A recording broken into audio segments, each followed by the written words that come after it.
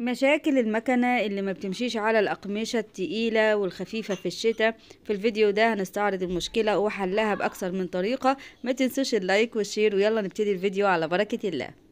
الشتاء بدأت ومشاكل المكنة كتير ما بتمشيش على القماش وأفكار وحاجات كتير كده وكل شوية آه، بنعاني من المكنة. طيب بصوا النهاردة بقى كده الفكرة دي إن شاء الله آه، تمشي معاكم مع القماش. بصوا. ادي يا ريت ننضفها كده بالمرة وإحنا بنفكها. ده كده شريط اللحام أو البلاستر الشفاف أو أي شريط لحام يا جماعة. أهو شريط اللحام. وباخد جزء كده منه.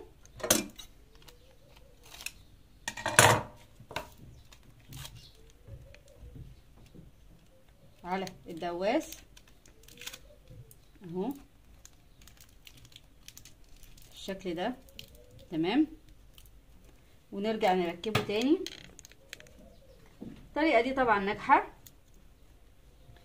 والطريقة اللي أمهاتنا أو أجدادنا كانوا بيعملوها كان ورق الجرايد اللي بيتقصقص ويتخيط فوقه. طبعا دلوقتي مفيش جرايد غير نادرا.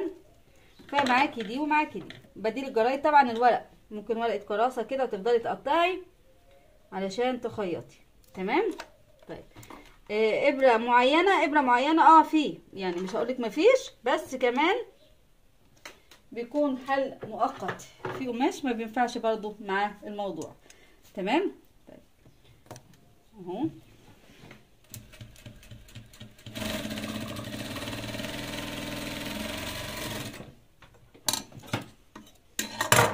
اهي. بصوا متخيطة. هجيب لكم قماشة تكون لون مختلف عن الخيط عشان تكون أفضل. دي مثلا كده قماشة صعبة جدا خياطتها. الفرو زي ما حضراتكم شايفين اهي. تمام؟ وهشوف بقى كده البلاستر أو السلوتيب اللي أنا عملته. بسم الله. والخيط أحمر عشان يكون واضح. أهو.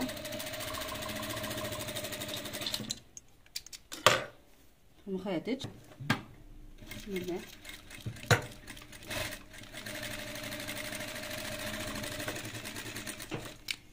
طيب تمام. خيطت أهو. وخياطه حلوة. زي ما حضراتكم شايفين أدي الخياطة.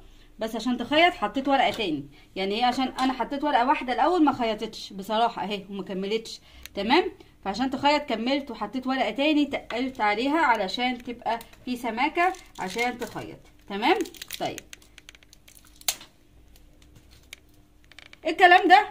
لو لو حضرتك اشتريتي مكنة وبتضايقك. الكلام ده لو انت أمام الأمر الواقع يعني عندك مكنة سودة ومش مساعدك على القماشه دي وعلى الحراير وعلى الدفايات وعلى الشتوي فأنا بقول لك أهو يعني حطي بلاستر وخيطي بالشكل ده أو هاتي ورق وافضلي قصقصي وخيطي بالشكل ده. بس لو هتعملي مشروع آسفة الكلام ده مش هينفع بالمرة. يعني لو حضرتك اشتريتيها وخلاص بقيتي في وش المكنة وفي وش المدفع زي ما بيقولوا هنفتكس. بس لبيتك. أنا لو عميلة وجيت أس يعني أستلم منك شغل لقيته آه بورق لقيته بالطريقة دي وغرزه طالعة وغرزه نازلة اسفه مش هاخده لا بحبطك ولا عايزة أضايقك ولا عايزة أقولك ما ينفعش تشتغلي ولا ما ينفعش تفتحي مشروع. يا جماعة أساس النجاح طبعا توفيق من عند ربنا سبحانه وتعالى. بس الدنيا اختلفت المنافسة بقت قوية. آه لازم شغلك يكون الأحسن الأفضل الأعلى جودة. وعشان أعمل ده فأنا لازم أدواتي تكون جاهزة. يعني لازم النهارده فكرت أعمل مشروع ما بقاش مضطرة. بيستفزني جدا السؤال بتاع مكنة على قد الإيد.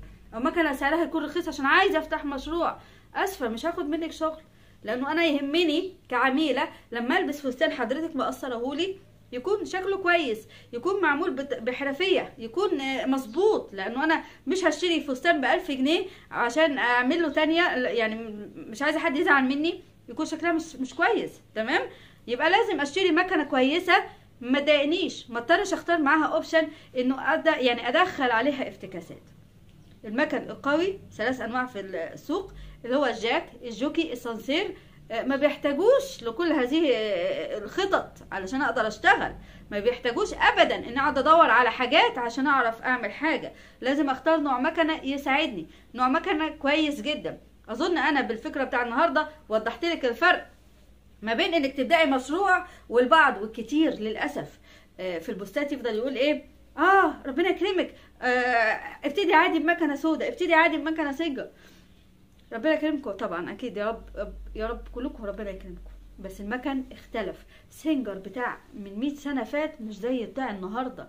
النهارده كله بلاستيك.